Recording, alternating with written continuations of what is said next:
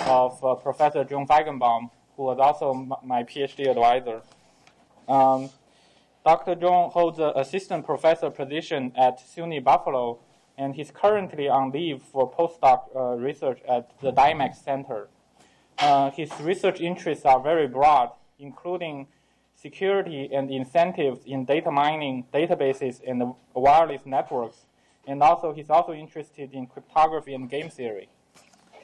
Here's Dr. Thanks. so today is my great honor to give this talk at CERIAS, which is a prestigious place uh, in the security world. Uh, uh, because I, I'm not feeling terribly well, so let me apologize in advance. If I make any errors, please forgive me. so um, today, in my plan, there are actually two talks, uh, depending on the time. The first one I will definitely cover is privacy enhancing k-anonymization of uh, customer data which will appear in uh, PODS 2005. Uh, if time allows, I will also present uh, uh privacy preserving classification without loss of accuracy, which, appear, which just appeared in SDM 2005. So both, both pieces of work were joint work with uh, uh, Zhiqiang Yang and Rebecca and Wright. Okay, so privacy enhancing k-anonymization of customer data. So, uh, first of all, why would you bother to study uh, this topic, right? So, what is k-anonymization? Why is it useful? Okay, so let's consider a scenario of medical research, okay? So here you can see a table. This is a table of um, uh, health information. So each row contains the health information of a customer. Okay?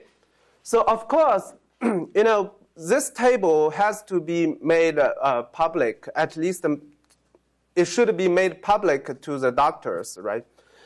Um, so before it is made public, it, it is de-identified, which means all the identifiers of uh, the customers have been removed from the table to protect the customer's privacy. Okay? However, so we, we, we note that uh, uh, here we have some uh, privacy sensitive information. For example, the history of illness, right?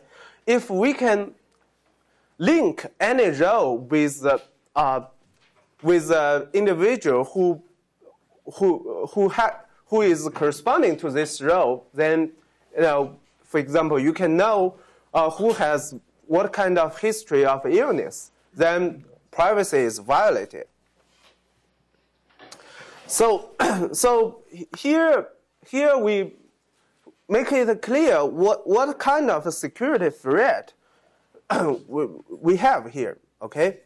So, so uh, you might wonder, uh, given, given the fact that the identifiers have been removed, how can you link a, a row to the corresponding individual?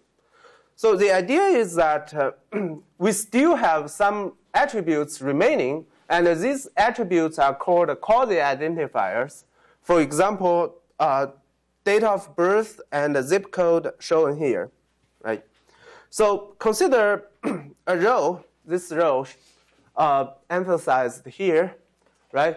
So this row shows the, uh, the date of birth and the zip code of an individual, as well as his allergic information and history of illness. So this bad guy looks at this row and thinks, okay, I know Victor is the only person who is who was born on this date and uh, in this area of uh, uh, this zip code. So, so I can determine he, Victor is exactly the person corresponding to, to this row. And uh, now I know he has a history of stroke. So this is too bad, and we definitely don't want this to happen. So to avoid this, Samarati and uh, Sweeney proposed a very powerful tool called k-anonymization or k-anonymity. so the idea is that we can eliminate such link from a row to the person through quasi-identifiers. So, for example, we have here we show two ways to, to, to remove this, these links. So one is, in a, you, you can see in the column of date of birth, we suppress some entries. So we, we replace these entries with, with star. So that's called suppression, okay? The other method is uh, uh, called generalization, which is illustrated in the column of zip code.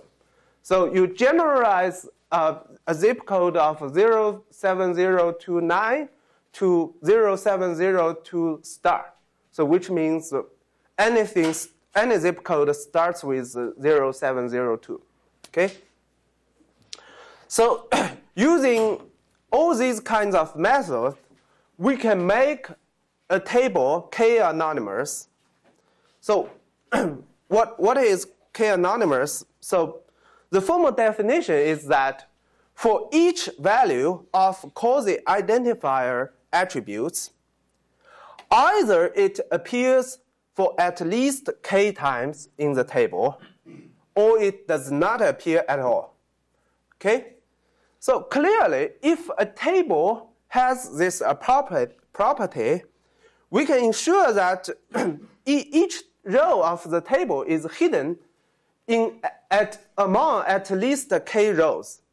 Or in other words, each person involved is hidden in at least uh, k peers. so this is the basic idea of k anonymity. Is that clear? Good. Okay. so k anonymity, clearly k anonymity protects individual privacy.